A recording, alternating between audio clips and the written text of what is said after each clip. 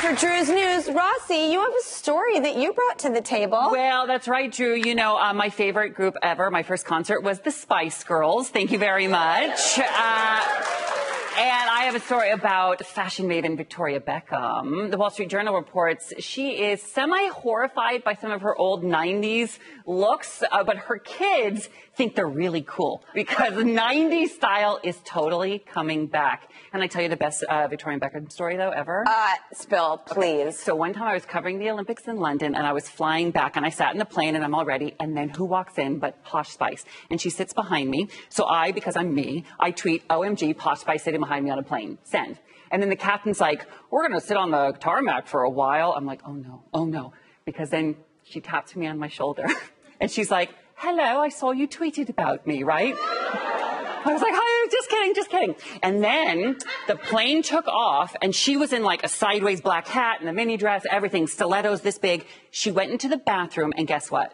Changed into like full head to toe cashmere?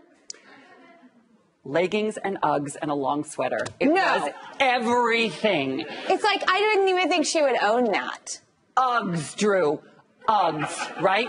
And then she comes back and she talked to me like the whole flight. She was so nice. And I was like, is this the same like Victoria Beckham?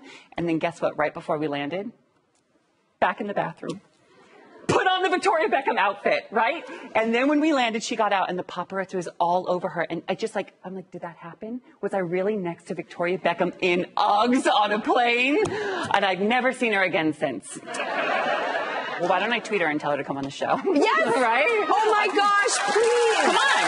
My old friend Vicky. Um, well, we've got some breaking science news. I read this in the New York Times and I was really fascinated with it and I wanted to share it with you guys. Um, the BBC reports that surgeons in the U.S. have successfully tested a pig kidney transplant into a human. Now the recipient um, didn't reject it and it's functioning normal. Yeah. Um, so it could have a very big impact because 90,000 people a year are usually waiting for a kidney. This is just so, I don't don't even know what to think of it other than I can't believe that this is actually happening. It seems like something out of a futuristic novel or movie. Well, it's the beauty of science, you know, and how miraculous that this person's body didn't reject the part. You know, there was a side effect though. He turned into a real ham. Sorry, you were you were just bacon for that one. I had to give it to you.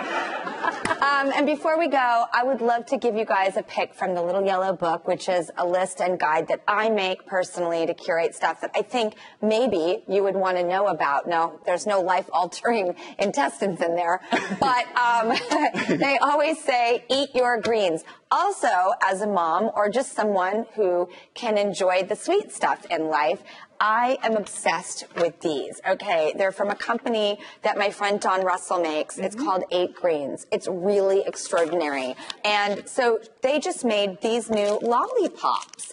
And I thought, you know what? When people want a sweet treat, this actually is made with honest to goodness greens and it's going to surprise you because you think, oh, huh, uh, uh, okay, uh, uh, that, uh, whoa, whoa. I I thought it was going to taste like a salad. Mm-mm. That is delicious. And I'm telling you, with every lick, you're basically getting a bite of a salad. Spinach, aloe vera, wheatgrass, kale. Say what? Uh huh. Sucker. Dawn Russell and mm-hmm. Eight Greens, you have done it again. I can't wait to give these to my kids and enjoy them for myself. I hope you enjoy them too.